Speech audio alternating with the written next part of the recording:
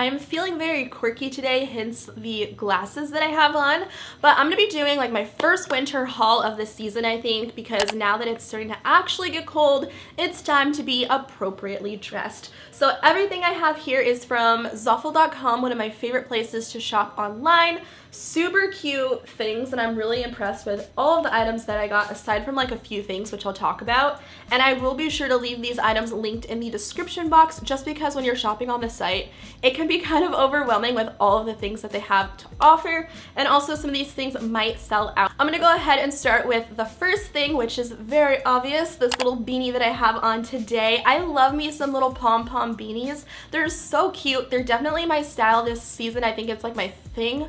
I think they look really great and they're very practical and functional. They keep me nice and toasty. So this one is like a speckled gray with a tan little pom-pom on the top. So the next thing I got was a belt. My pants fall down now, so I have to use a belt. So I thought this one was really cute. It has like a little western vibe to it and it's just black with silver hardware. This I got in maybe like a medium large I can't exactly remember. I'll leave it linked down below, but it fits perfectly and it's very basic and simple, but I think it'll definitely go very nicely with oversized sweaters and just like jeans. The next two things that I got from Zaful were sunglasses. Look how freaking cute. You guys know me and my studies. I like to get different ones that aren't necessarily like an everyday type of style, but I will wear them every day. I just like to accessorize with eyewear. It's weird because I've been wearing actual glasses since I was in like fourth or fifth grade and then I had my eyes lasered and I still wear these to drive at night because they help me to see better but I really like to wear sunglasses because I'm actually able to now. So this pair is super cute. It has like a cat eye cut, nice and oversized. The actual color is like a pale pink and then it has gold hardware. But what I really like is the zigzag detail here on the arm. I think it's really pretty and it just has like uh, the plastic nose grips. I have to tell you guys, I don't like the nose grips in these, which I didn't realize. These are like the hard metal ones because they'll leave marks on my nose, the bridge of my nose where my makeup is, and I'll like rub it off. I don't know how to fix that. Do you guys have any tricks or anything? I've heard about people putting eyeshadow primer there, but I don't have time for that. So anyways, I just got these. These are really cute. Again, I like the oversized look and they are pink with gold. I can actually put them on. I'm feeling less quirky now, but that's okay. They are so cute. And I like that you can't see my eyes through the lenses. I always look for super like mirrored reflective lenses. I think they look the best on me. They're a little bit more edgy, but these aren't that comfy when you have them on. So that's just a heads up if you guys are curious about those. And then these are way more comfy. What I see is the color of these lenses, by the way. It's kind of like that Kelvin filter on Instagram, but you can actually see my eyes a little bit through the lens, especially if you're up close. But check this out. I just love the detail here on the arm because it's like a zigzag. Of course, I had to get some knitwear. This is the first sweater and it's a v-neck.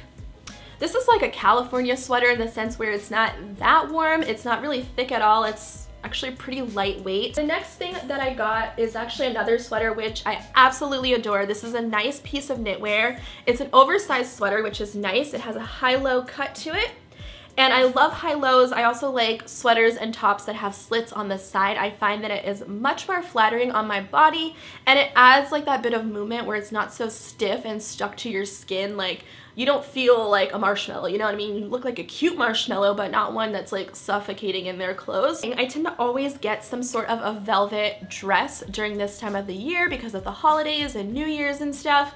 And this is like a, I believe it's described as like a a dress, a shirt dress, tunic basically.